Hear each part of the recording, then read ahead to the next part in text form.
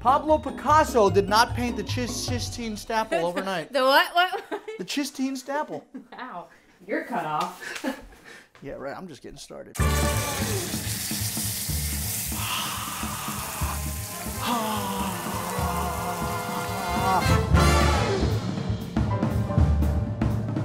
Welcome back to Cooking in Quarantine with yours truly, Johnny Bananas. This episode is very special to me. It is a bone in ribeye steak, 36 ounces. If I was to pick this steak up and throw it at Ricky, who's behind the camera right now, it would be like getting run over by the bulls in Pamplona, Spain. The thing literally is practically mooing. Since we're doing a red meat, you gotta go with red wine. I'm a Pinot Noir guy. This is a Albert Bichot.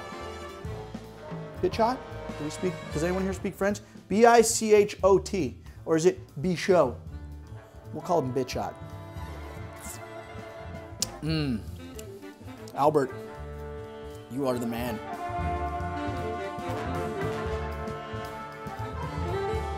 The star of tonight's show. You don't want to ruin a good cut of meat. When you have something this incredible, all we're doing is salt and pepper. You also want to make. The f, man? It's also very important, especially with the cut of meat this thick. You want to bring this to room temperature before you go to fry. You don't want to put cold meat in a hot pan. As I said before, it's a wine reduction sauce, so you need another bottle of wine. We went with uh, 19 crimes here. It's a crime to waste alcohol, so we're not gonna do that tonight because we're gonna be consuming it all. Very important part of the sauce that we're making, you need a veal demi-glaze. It's a fancy way of saying it's a veal gravy. It thickens it up, makes it really yummy, brings out a lot of flavor. We're doing lots of butter tonight. Call your cardiologist. Let him know that you're probably gonna be visiting him within the next few days. We love our thyme, two bunches of thyme about this size. We've got our shallots here, all right? And you wanna leave them as intact as you can. So basically, we're just gonna cut the shallot down the middle, remove this outer layer of skin. So we just wanna leave it exactly like that. Now for the kale, which we're gonna do as our yummy side. You want your kale to be spineless, like Wes Bergman. You wanna peel down kind of each side like that, pull it out like that. And last but not least, these knives are extra special to me because they were sent to me by a very special friend. Uh, That is Chef Anne Burrell from Worst Cooks in America. Thank you. I love you. You know, they say the fastest way to a woman's heart is a diamond. Fastest way to my heart is a set of very sharp knives. So we're ready to get cooking. Morgan stubbed her toe, so uh, we're soaking her foot right now in Epsom salts. And then for added seasoning, we're gonna do the kale in Morgan's foot water. You're embarrassing me. Show us your foot, Morgan. So we're gonna go generous olive oil, people. All right. We want a thunderous round of applause when this thing hits the pan.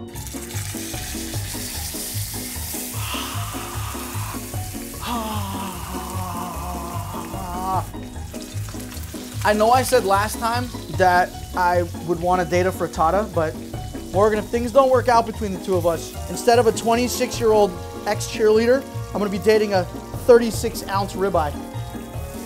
And the applause continues. Look at that. Ain't that beautiful? Now we're going for medium rare on this. We're gonna pop our shallots in there, cook it for a little bit longer. We're gonna remove the shallots and the steak, remove the oil, then we're gonna replace the oil with butter. So what we're gonna do is we're gonna take our shallots off, we're gonna pop them over here. That looks really good. Stop looking at it like that. I want to eat it. and I would like you to hurry this process up so we can eat it. Pablo Picasso did not paint the Chis- Sistine Chapel overnight. The what? What? the Sistine Staple. Ow. You're cut off. Yeah, right. I'm just getting started. Enough around, people. Lots of butter, people. So now we're gonna pop our shallots back in. We're gonna add my next favorite ingredient, which is thyme. You get a little bit of butter on there. We're gonna put the thyme on top of the steak, and now we're gonna baste the thyme and the steak in butter. We're gonna remove the steak again from the heat. It's like thunder, lightning. The way I love you is frightening. Now, what we're gonna do is we are gonna pop this bad boy in the oven for 15 minutes. Ah!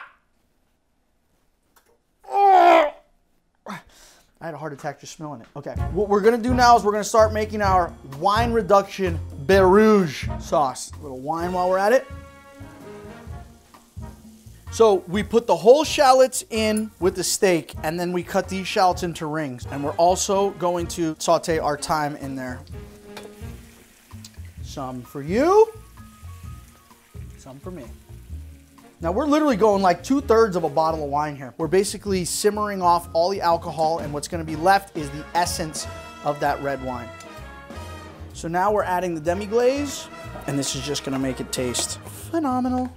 You don't wanna let the booze go to waste, okay? So we gotta, we gotta inhale as many of these alcoholic fumes as possible. This entire bottle of wine has been reduced down to literally this. We're gonna start on our kale. Do not be afraid of olive oil. If- If you're gonna be afraid of olive anything, be afraid of Olive Garden, because that is what we call in the Italian community metagon. Metagon means fake as Morgan, is it okay if we use your foot water for the kale? I'm gonna punch you in the face again. We're not actually cooking our kale in foot water, but we're gonna tell Morgan we are. Don't call it foot water. Once you got it coated in oil, gonna add our garlic. Now we're gonna flash steam this. Half a cup of water and about three tablespoons of soy sauce. The key to cooking is to be able to manage multiple things at the same time. Juggle a lot of plates. It's kind of like juggling, you know, multiple. Morgan, your food's done. Without further ado, the star of our show. One more degree. Please give me one more degree. One more degree! There it is. There we are. Nope. Wrong, wrong way. When I tell you I want you at 132, okay? I want you at 132. 131 doesn't cut it. 135 doesn't cut it. I got half a glass of wine and you finished the other two bottles. No, there's a whole bottle in here, and Ricky drank at least three quarters of the other bottle. So I don't know. I don't know how he's holding this camera still. I don't know how Ricky's holding this camera so still because he's had at least. So where's my wine? Follow my, follow my finger. You can't even do that. Oh my God! Yes, I can. Come on, man. We're doing stuff here. Gonna take these guys off. Time. You know what?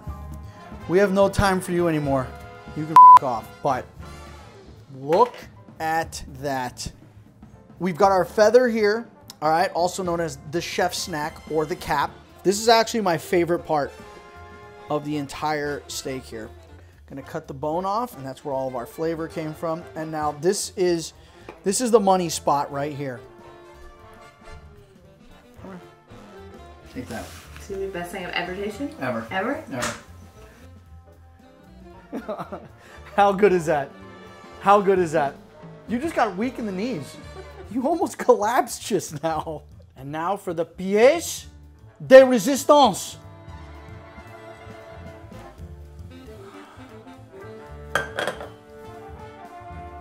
I just need a moment. I've never felt this way about anyone before. You complete me. Thanks for stopping by. We will see you again on the next episode of Cooking in Quarantine with Johnny Bananas. Live, love, go bananas. I found true love in the most unlikely of places. In my kitchen. Tell you what, after tonight's meal, Vanished to us. you're gonna find love in my kitchen too.